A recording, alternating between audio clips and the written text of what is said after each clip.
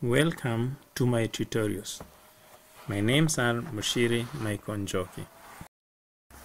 Today we are learning how to write a simple Java program using NetBeans IDE. IDE stands for Integrated Development Environment. IDEs facilitate developers to develop new applications. The advantage of using IDE includes fast development of program and easy debugging and testing of the applications. Other IDEs for Java includes BlueJ, Eclipse, among many others. For this tutorial, we are going to use NetBeans 8.02 or above. So we are going to write the simple Java application on our NetBeans IDE. So we start by creating a new project. So to create a new project, you go to File, then you go to New Project, then you go to Java and then Java Application, and you click next. So you choose the name of your project. In this case, you're going to call it Simple Java. We can let the system um, create a main class for us. The main class is the class with the main method. The main method is the place at which the system starts executing your code. Any Java program should have at least one main method.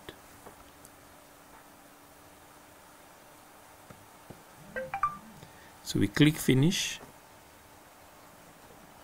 and here we are. So this is our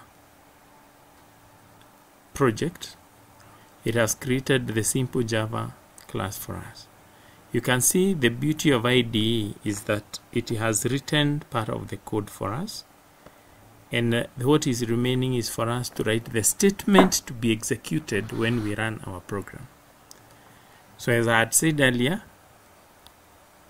the Java program or system starts executing from the main method. So it is in the main method that we are going to write the statements that we are that are going to be executed by our Java program. So in this case we want to our system to display the words Java is simple. So we say system dot out dot print ln so we say Java is simple. Then you must always close your statement with a semicolon. So to display anything on the screen you call the method system.out.println then you put whatever you want to be displayed in in double quotes and then you put the semicolon so we can have our we can run our system and we see how it behaves. So to run the system you either click the green button up here or you can go to the main to the menu and you go to the run menu and you click run project.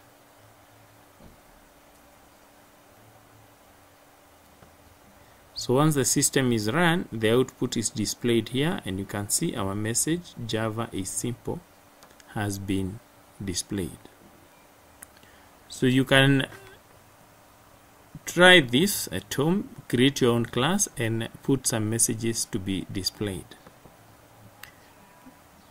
I want us to look more on this method for displaying um, the output on the screen. So you can say system.out.println. So this ln here helps the system or tell the system to move to the next line after displaying whatever it is we want to display. So let us add another line and we see how this works. So we are going to display something else. We say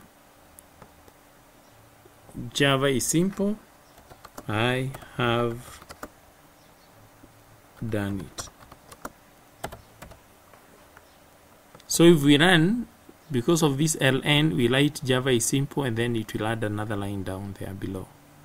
So let us run this and we see the, uh, the output. You can see it says Java is simple. I have done it.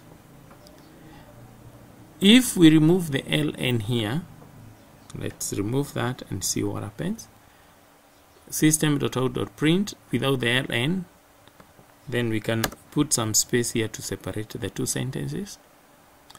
What happens is that after displaying this message, it will move on and display the next message without moving to the next line.